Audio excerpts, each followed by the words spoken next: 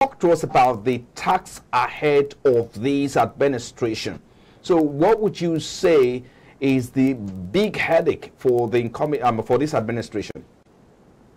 Well, a number of things that President Tinubu we need to work on, even though former President Buhari has tried his best uh, in terms of the economy.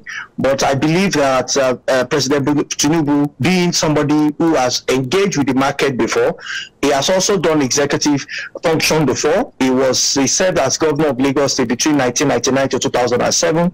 The his vice president, uh, talking of Shettima, he has also worked as executive of executive governor of Borno State. And to add to what the the President Tinubu has done before, he was was a senator.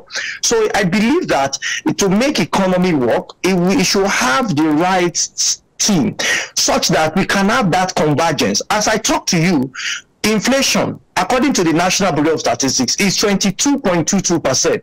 The target of central bank is for inflation to be a single digit, which is between 6 to 9%. Unfortunately, uh, even though President Buhari met it at 6, I mean 9.6%, uh, he's leaving office with 22.22% according to the National Bureau of Statistics. So, what is the real challenge with inflation is policy convergence.